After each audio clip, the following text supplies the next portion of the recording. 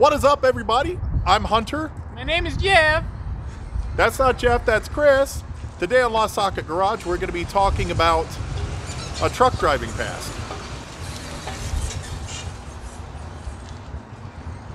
Your ears look sunburned. Sunburn. What is up, everybody? I'm Hunter. what is up, everybody? I'm Hunter. My name is Jeff. He's not Jeff, he's Chris. This is Lost Socket Garage. Today we're going to talk about the Dynacorn pre-welded assemblies and what you need to watch out for. For many, the 60s and 70s is viewed as the pinnacle in American automotive production, giving us some of the most iconic cars in history. The 80s, mm, not so much. What the 80s did give us is two guys with a passion for bringing these classics back to life. Their goal is to educate, motivate, and most importantly, make the mistakes so you don't have to. Mother. Welcome to Lost Socket Garage. All right, we are about to kick out. Well, we did kick them out. We didn't really kick. Chris, who are you texting right now? I'm gonna, I'm gonna kick them out tomorrow. We're gonna kick these two beauties out tomorrow. They're done. Let's show you. it. So, a couple more conversions done. Chris, tell us about these cars. Uh, one was a very pain in the ass. The other one was Oh, that should be these cars' That should be their names instead of the Jolly Green and. Wait, which one? Which one was Jekyll? Which one was Hyde? Was it Hyde was the normal guy, wasn't it? Hyde was the normal guy, And Jekyll was this. Dr. Jekyll and Mr. Hyde, Isn't it? Yeah, Dr. Jekyll, because that's when he changed. Isn't it? Okay, this one was the asshole. This one was the not asshole. Yeah. Okay. So really though, these were completely different ends of the spectrum. Uh, this one we had to take just all the way apart. I'll insert a couple of pictures of what it looked like before.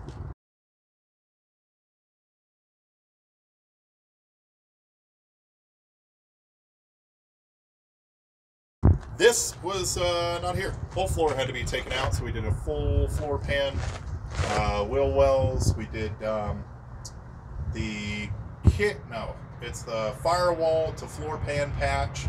We did new torque boxes. This thing was haggard, man. Like This thing is 85% new metal. 85% new metal in this, legitimately. Like, I really hated doing this car. But she turned out very nice. She's epoxy prime now. Kind of give you a quick once around here. Now, on this one, Chris, why did we use one Dynacorn pre-assembled side? Because it's all we had. Okay, so it's all we had, A. And B, And we thought it was going to be a lot faster. we thought this foreshadowing right there. Foreshadowing. We thought it was going to be faster. Was it faster? No. No, not at all. Okay, let's talk about that for a second. So, we had uh, some serious issues with our door gap, and we couldn't figure it out. So, well, I mean, there's no door on here now, but there was a door here, and our door gap, what was it? It was like a half inch, wasn't It it? was a half inch. This whole assembly was a half inch too far forward. So it set us back hours and hours because we're scratching our head trying to figure out why our door gap was a half inch. So we moved the door in and get our door gap right here, and then we were left with a half inch gap. You could basically see straight through where you should be able just to see gasket. And that's with the gasket on, so we weren't just missing that. That was with the gasket on. All those people jumping in the comments right now. I know how to fix it. There's no gasket. No, there's definitely a gasket on it, and where you're still off. On this side, we used the Dynacorn pre-assembled um, side, and basically what we found out is they put it together with different measurements. So eventually, we ended up measuring this distance right here. So we measured from here to the edge of the torque box, and it was a quarter of an inch this way. So this gap was a quarter of an inch shorter than stock.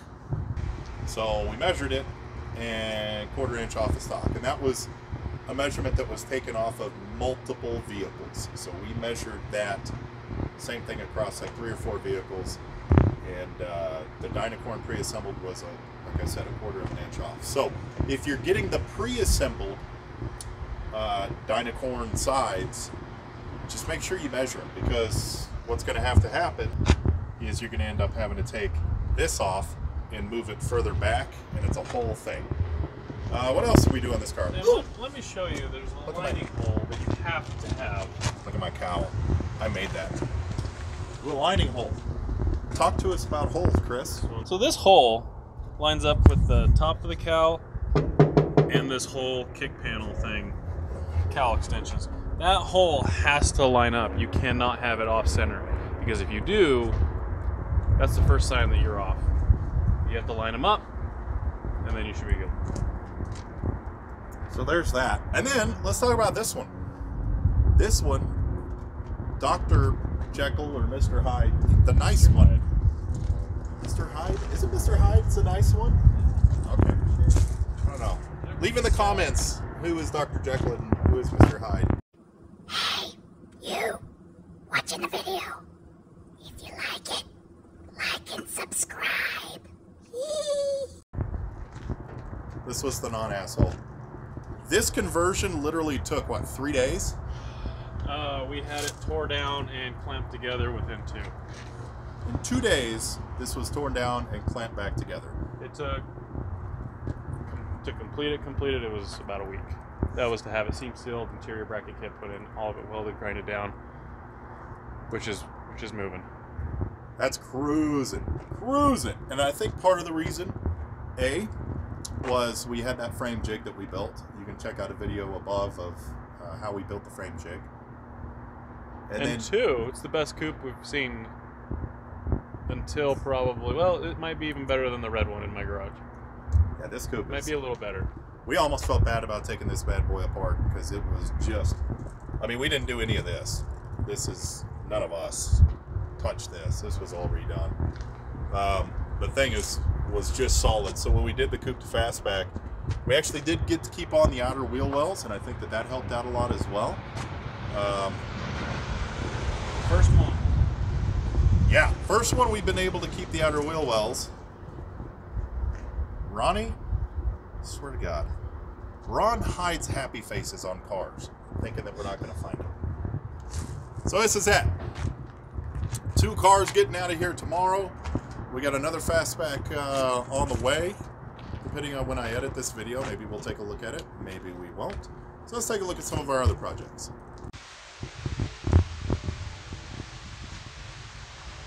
So, All right, so we got a bunch of metal. So that's that's uh that's actually good news.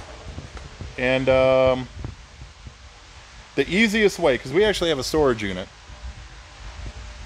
we can't keep all the metal in boxes, so we actually pre-weld the assemblies. And if you check out one of our other videos, it might be the same one I referred to earlier. I don't really remember. One of our other videos on putting together the stop covering up the pretty face.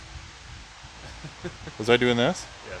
Oh. One of the videos we did, we covered uh, putting together the uh, side assemblies piece by piece. Well, we've been doing a lot of those. A lot of side assemblies. These rockers. So, if you or anyone you know needs rockers Or A pillars, or or A pillars, cowl patches, or A pillar, lower A pillar, upper A pillars, because the upper A pillar you can't actually get from the side assembly. Oh, cool. So we have a, just a ton of A pillars. Uh, we have rockers. We have. They're all for sale. We listed some of them on, on eBay, but hit us too. hit us up on um, you know Facebook or Instagram and uh, DM us, and you know we can ship these parts anywhere in the country. I assume. But these are the next what five conversions we're doing worth of side assemblies. Yeah. Ooh.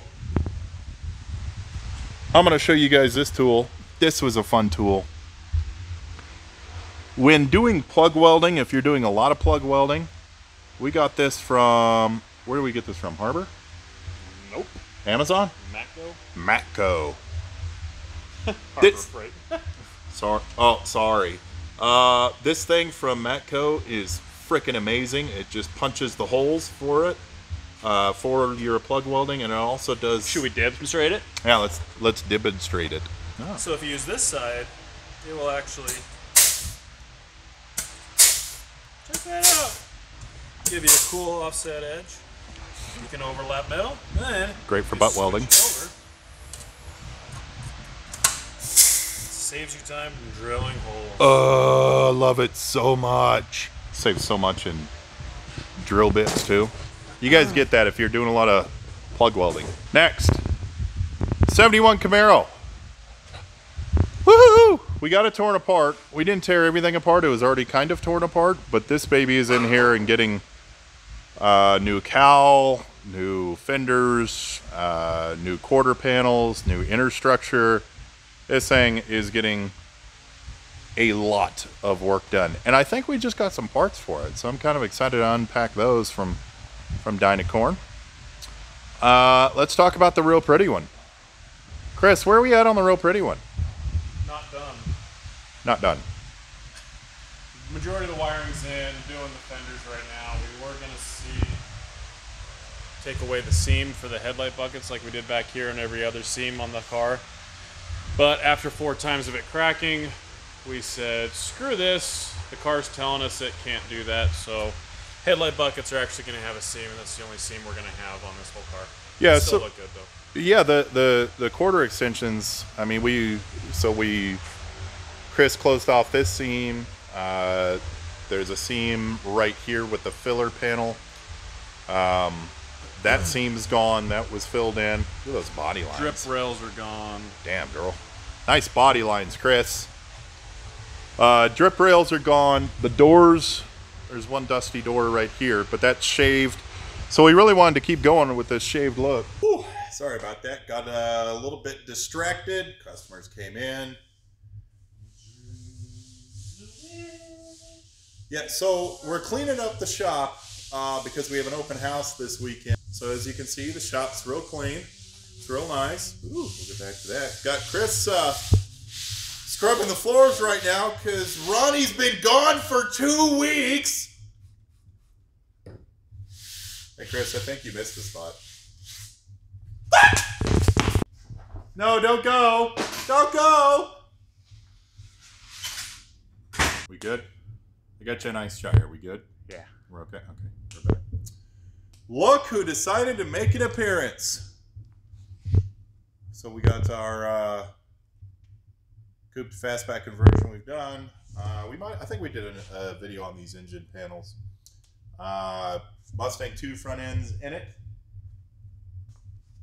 Hey Chris, what are we looking at right now? That is a Gen 3 Coyote out of a 2018 Mustang. 460 foot pound, no, 460 horsepower. I don't know the foot pounds torque or torque foot pounds. I don't remember how you say it.